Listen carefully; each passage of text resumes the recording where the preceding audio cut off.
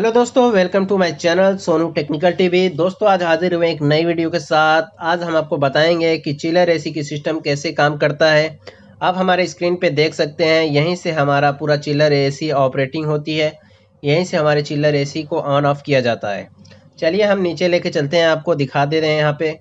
ये जो blue colour का बॉक्स टाइप दिख रहा है, ये हमारा जो है सोलोनाइड वाल है। दोनों सोलोनाइड वाल यहाँ पे लगे हुए हैं, आप देख सकते हैं। सोलोनाइड वाल के बारे में बताने से पहले आपको मैं लेके चलता हूँ एक्सपेंशन वाल की तरफ़। एक्सपेंशन वाल हमारा क्या कम करता है आप देख सकते हैं, यही हमारा एक्सपेंशन वाल है।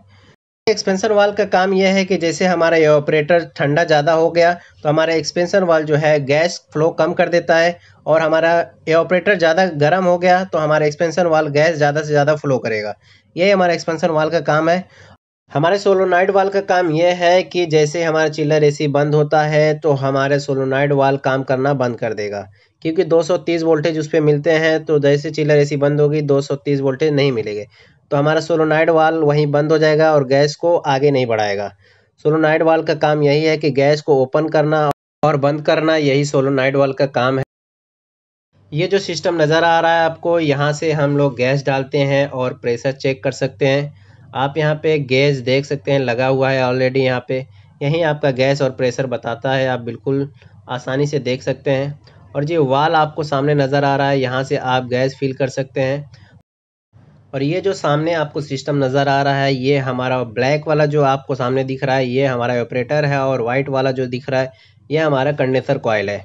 जिसको आप हीटिंग कॉयल भी बोलते हैं तो यही हमारा हीटिंग को बाहर निकालता है, आप देख सकते हैं, ये हमारा हीटिंग कॉयल है। और ये ब्लैक वाला जो सामने नज़र आ रहा है, ये हमारा ऑपरेटर है, जिसको आप कूलिंग कॉयल भी बोलते हैं। ये जो सामने आपको पाइप नज़र आ रही है, ये हमारा कूलिंग कॉयल से जुड़ा हुआ है। ये हमारे सीधे टंकी में जा रही है।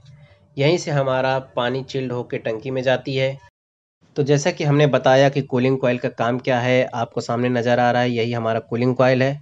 ये हमारे पानी को ठंडा करके इन करता है और हमारे कंडेंसर का काम है कि हमारे गर्म पानी को आउट करता है।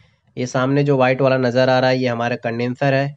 तो ऐसे ही हमारी चिलर एसी रनिंग करती है। चलिए हम कंप्रेसर की तरफ़ लेके चलते हैं आपको। सामने आपको नज़र आ रहा है, ये यहाँ पे कंप्रेसर लगा हुआ है। इसको स्क्रोल कंप्रेसर बोलते हैं। आप देख सकते हैं यहाँ पे सामने, ये स्क्रोल कंप्रेसर है। ये जो आपको सामने नज़र आ रहा है, ये हीटर है। ये हीटर यहाँ पे इसलिए लगाया जाता है कि हमारे ऑयल को हीट रखने के लिए ये हीटर यहाँ पे नीचे साइड में लगाया रहता है। जैसे कि अगर ऑयल हमारा बैठ गया तो हमारी हीटर जो है ऑन होगी और हमारे ऑयल को हीट करती है। ये सामने जो नज़र आ रहा है, ये हमारा सेक्शन का पाइप है और ये वाइट वाला आपको जो दिख रहा है, ये हमारा डिस्चार्ज पाइप है। ये जो आपको सामने नज़र आ रहा है, यही हमारा कूलिंग टावर है। यहीं से हमारी पानी जो है हीट होके भाप बन के निकलती है। तो ऐसे ही हमारा चिल्लर काम करता है। चलिए हम और आगे बढ़ते हैं, दिखाते हैं आपको। यहाँ पे जो आपको सामने वाल नज़र आ रहा है, यहाँ से आप ऑन ऑफ़ कर सकते हैं। चलिए अब चलते हैं हम अपने वायरिंग की तरफ़। आपको मैं दिखा दूँ, ये आप स्क्रीन पे देख सकते हैं, ये हमारी चिल्लर एसी की वायरिंग है। सामने आपको जो नज़र आ रहा है, ये जो बड़ा बोर्ड आपको दिख रहा है, यहाँ से ही मेन स्विच है हमारा। यहीं से ऑन ऑफ़ आप कर सकते हैं। देख सकते हैं आपको नज़र आ रहा है यहाँ पे, यहीं से ऑन ऑफ़ कर सकते हैं। यही हमारा मेन स्विच है।